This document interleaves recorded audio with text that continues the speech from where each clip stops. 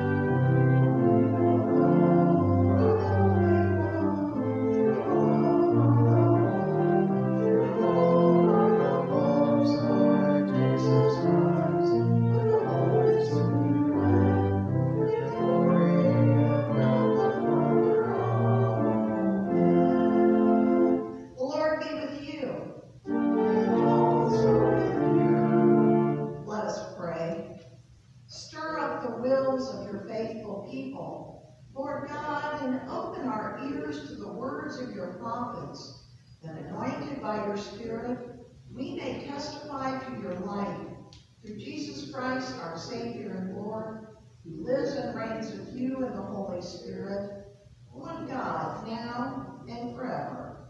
Amen. You may be seated.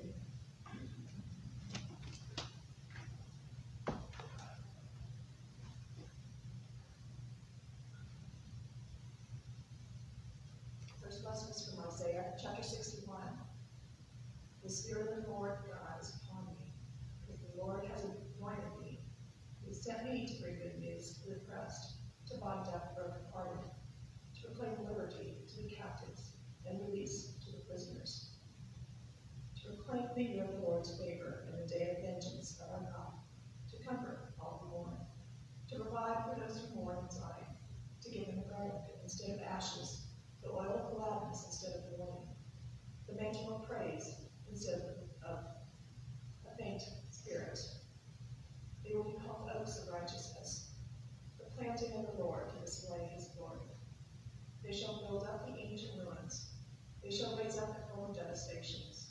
They shall repair the ruined cities, the devastation of many generations. For I, the Lord, love justice. I hate robbery and wrongdoing.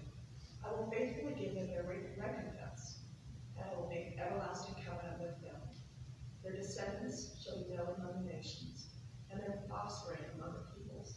All who see them shall shall acknowledge that they are the people whom the Lord has blessed. I will greatly rejoice in the Lord. My whole being shall exalt my God. For he has clothed me with the garments of salvation.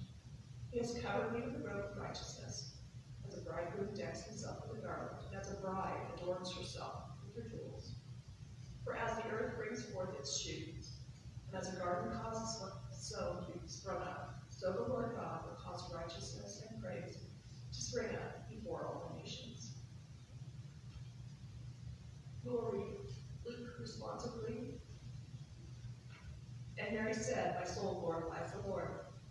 And my spirit rejoices in God my Savior. He has been mindful of the humble state of his servant. For now on, all generations will call me blessed. For the mighty one has done great things for me. Holy is his name. His mercy extends to those who fear him from generation to generation. He has performed mighty deeds with his arm. He has scattered those who are proud in their inmost thoughts. He has brought down rulers from their thrones and has lifted up. He has filled the hungry with good things, and has sent the rich away from thee. He has helped the servant of Israel, remembering to be merciful. To Abraham and his descendants forever, just as he promised our ancestors. The second lesson is from 1 Thessalonians chapter 5.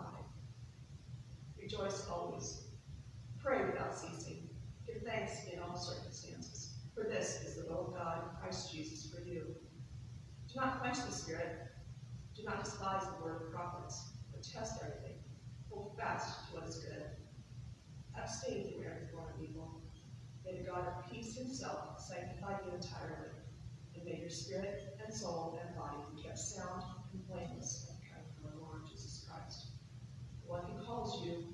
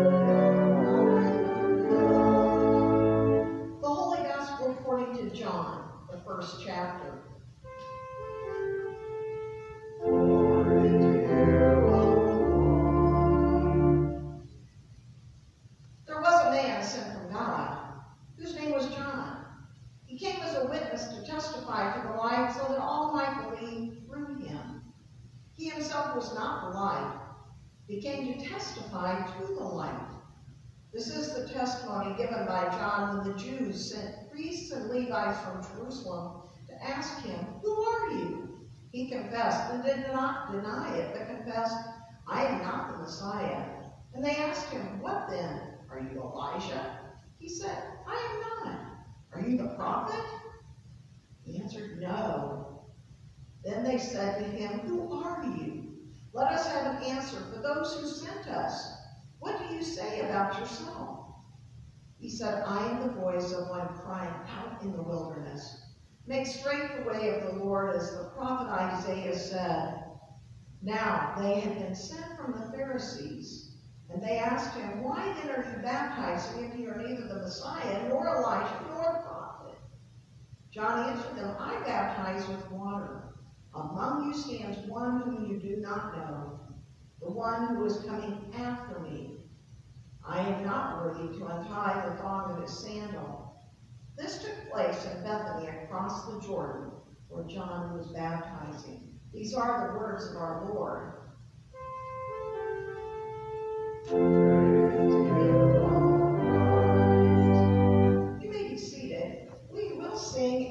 Celebration of Santa Lucia today because we cannot uh, do as we would normally do for this day. Uh, we'll sing the two verses, and I think this matches up better than the one we've tried before. So I'm going to play it through once and then.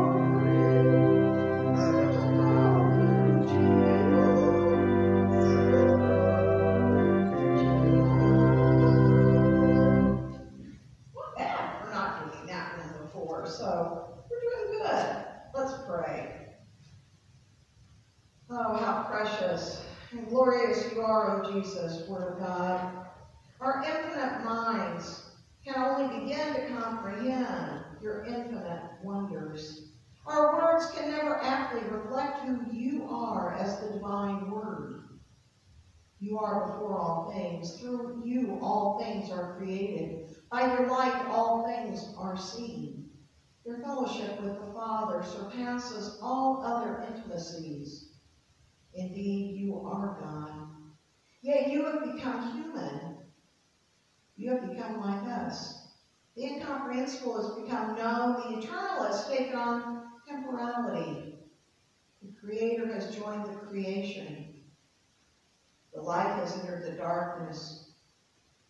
You have done all this so that us mortals might see your glory, the very glory of God, so that we might know the Father, so that we might receive grace and truth.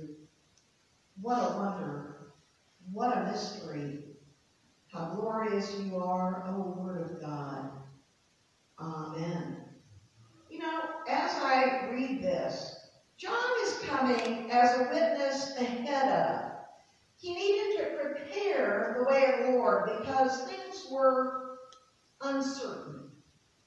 Again, we're not sure that maybe people had it right yet. Maybe there needed to be a little foreshadowing to understand what this awesome Jesus was going to do and what freedom there would be in his grace and his love. So John comes ahead to testify concerning the light so that all men might believe. As I think about light, we think about Hanukkah. We think about how those stories of the light dovetail into each other. We find out and we hear so much about the joy and the peace and the hope and the love that there is. As we go through Hanukkah, through these eight days, remember it's about the rededication of the temple, because, and, and yet the miracle that the oil lasted eight days. It shouldn't have. And yet it did. And the Jewish people celebrate. It's not a somber day. It's like us getting ready for Christmas. It's a joy of anticipation. It's on the third night, remembering that they ate fried foods, a lot of it. It's totally unhealthy. But of course it was oil, so of course it was healthy oil that they would have shared in. And eating latkes and pancakes and all sorts of good things. Having gelt, having chocolate, that's the best part maybe, of remembering the stories of old. And yet, the season of light is about hope and joy and peace. And I love the Hanukkah song that tells the story of the freedom that was let loose in the people's story as their story was being played out and as it's told every year in these eight days. For us, it's the same joy and it's them fighting for the same thing. The joy of being able to tell the story of light and hope and peace. It's the joy, hope, peace, love that's on our Advent wreath being played out. And John the forerunner to say, get ready. There's something remarkable about to happen. I'm not worthy to really do everything. Yes, I'm going to be baptizing, but I get I can't do what he does. I can't do it because it is his to tell the rest of the story. On this third Sunday of Advent, hopefully by now, we've gotten a little more excited about what is happening. And it's not just the same old thing. I know this year I changed how we did some things. We changed some things here at church as well. How we do things had to be modified for a lot of reasons. And yet, maybe the joy that we had at the beginning of December was pretty low. The energy was pretty low. And we were all kind of moaning and groaning about what and how was it going to look, and what do we do? And I've seen the energy pick up, and people are getting a little more excited about what's happening. Little Lily that we had been praying for, who still has her leukemia. Yesterday, there were pictures put on. She was thumbs up, as much as you can see a thumbs up in a snowsuit and mittens, sitting out in the snow, playing, with a grin and a smile as big as it could get. That's the energy and the joy this season is to bring. And she, Lily is, little Lily is getting ready for it. There's a picture of her putting her favorite ornament on the tree. You know, Ricky and Cameron, they weren't sure what this Christmas was going to look like. None of us knew. Could it have been one that was sad and all you can do is sigh? No. This one's going to be a happy one for them. A happy one because she has doing better. Although it is a sad one, we have to admit, for the Reinhardt family, for the Turner family, for the Rasmussen family, for all those families, this is a hard Christmas and a hard Advent maybe being because there's little joy. And yet, I think we also need to say it might be in some ways a truly faith-filled Christmas and a holiday saying, God is so good. Yes, my family's not with us, but they're at home celebrating their first Christmas with the King, sitting at that feast table, enjoying and having that as their feast. See, John is only trying to prepare us for the future to prepare us for what will be. Jesus will come and will baptize. Jesus will be baptized, even though he didn't need to be. John reluctantly baptized Jesus. And yet, for you and me, this Advent is a time of light as we light more candles on the wreath. It gets brighter and more hope-filled. Not maybe so gloomy. You know, I chuckled as I was doing the Hanukkah last night. I had to tell everyone we would be doing Hanukkah at 5 o'clock instead of 6 o'clock. Because today we had to do Advent at church. Then I was going to go home and at 5 o'clock do Hanukkah so that I could go do Christmas program at 7. And I started thinking about the juxtaposition of doing all three things in one day. And how amazing it is to be able to do that. How awesome is God that we get to tell the story multiple times. That we actually are living the story of Jesus. And where are we at? Are we going to be gloomy, doomy, boo, boo, boo? Or do we want to say, God is so good that we get fired up about the stories of old. See, we can't really be excited about Christmas unless we are willing to invite others into this story and into the journey with us. We invite people out to dinner, maybe not so often right now. We invite people to be part of many things that we do. But do we invite people into faith and into growing a story together? Do we invite people to see the glory and the wonder and the mystery that there is in the midst of it? John is preparing the way. You and I are preparing the way for others to enter into this story. Preparing others to come along in the journey with us. That's what I love when I'm preparing like the Hanukkah stuff and I keep coming up with something new. Or I write another article and I go, oh, wow, that is so cool. Or I can it. I have a sermon ready. And God says, oh, maybe not. Maybe you're going to go a different direction than what you thought. Now, I have to tell you, yesterday was kind of an interesting day. I was out doing, making some deliveries of, of bread to some of our members. I found another road that you should not go down, especially if it's muddy. Well, I tried. Well, I didn't get totally stuck. I was mostly stuck, though. Kind of. I finally manipulated backing up and driving forward and putting it into a lower gear, and I finally got turned around and I got back out, and I thought, well, that's another one of those roads I'm not going down again.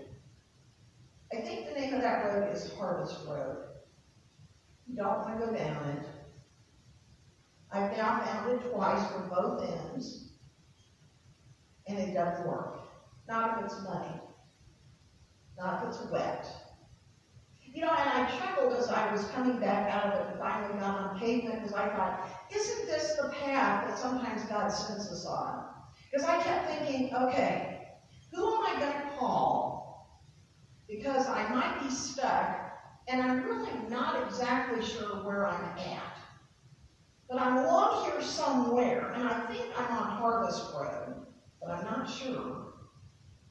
And so how am I going to get out of this mess? Well, I, I got out. But isn't that what God often does to us? He kind of sends us down a path maybe that we go, man, I don't know if this is where I should be. And he either turns us or he keeps us on it because that's the path we need to be on. And I think John was doing that. John had to go down a path and prepare the way. Well, for you and me too. We are preparing the way for others who will follow us in our imperfect journey, the imperfect world that we live in. God's taking us where He needs us to go. Now, I don't know that I'm going to go on Harvest Road again. I probably will not now that I've been on both ends, and it's not good either way. But anyway, God is preparing through you and me the way that we need to tell the story, that we need to unfold it. As I had conversations this week with Dick Reinhardt, I had the most awesome conversations about Larry. And we laughed over some of the stories. See, because Dick didn't know when before this whole pandemic and I'd gone to see Larry one visit. I was going to give him communion and have my have a chat with him and that kind of thing. And I found him in the activity room. And they were bouncing the ball back and forth to each other. Hey, Larry, you want to come out and have communion? No. Okay, you sit and play ball. Okay, I got my marching orders. I had to sit and play ball. Until Larry was done with that, and then we could. When I told Dick that story, all he could do was laugh. He's like, that is so Larry. That is so who he was. So Larry. So faithful. Yes. He's, he's left this place. He's home. Just like Jackie and Carol they are home with the King. They are at the manger scene. They're going to see firsthand again that birth retold by the King himself. Oh, yes. So tonight, we'll do Hanukkah and then we do a Christmas program. Oh, yeah. God, you got this plan just as you did for John the Baptist. Just as you did. He is not, and he never declared to be the Messiah. He never said he was a prophet all John was was a servant, called and set aside. Just as you and I are all called and set aside to be the witnesses of the story that's unfolding, of the story that is manifest in all that we do. That's all this is about. It's a story of old that is now for you and me. Amen. And we will sing hymn number 36.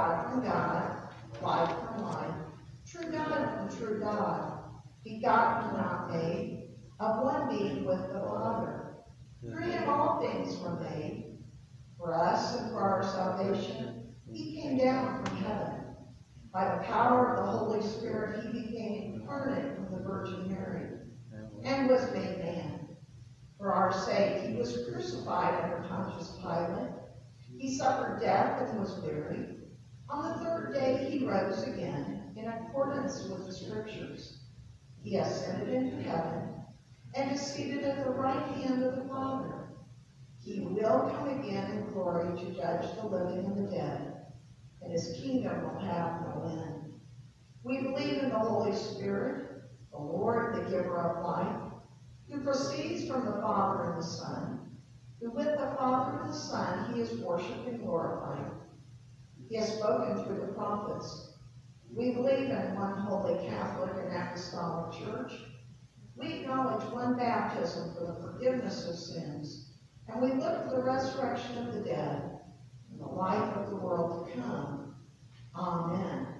With the people of God gathered here and throughout the world, we offer our prayers for the church, the world, and all people in need.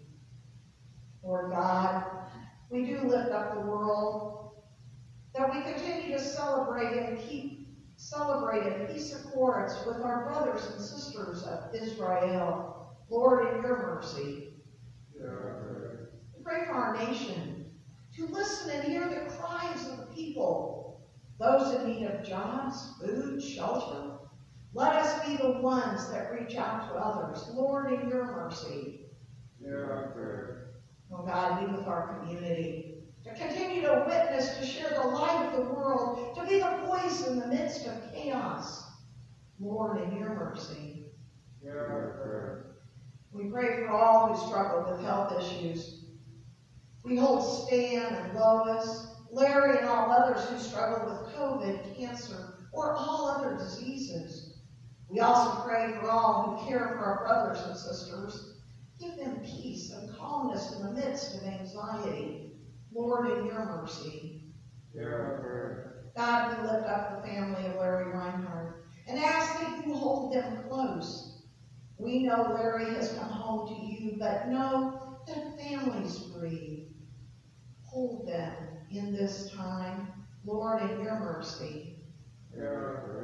And God, for our congregations and congregations throughout the world, continue to give us peace and willingness to listen. Help us as we struggle at times to know how to move. God, be with all your children in this day and this time, Lord, in your mercy. Gracious God, you are an amazing God. You open us. You have prepared us to lead the way.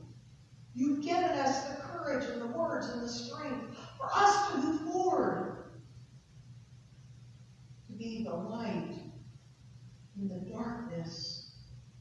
Be with us this day through Jesus Christ our Lord. Amen.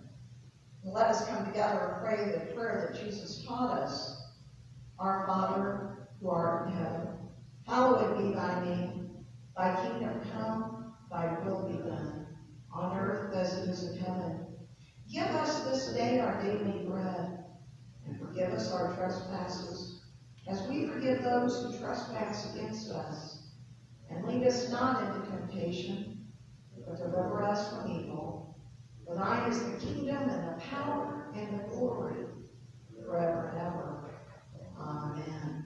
May be seated as we receive our offering.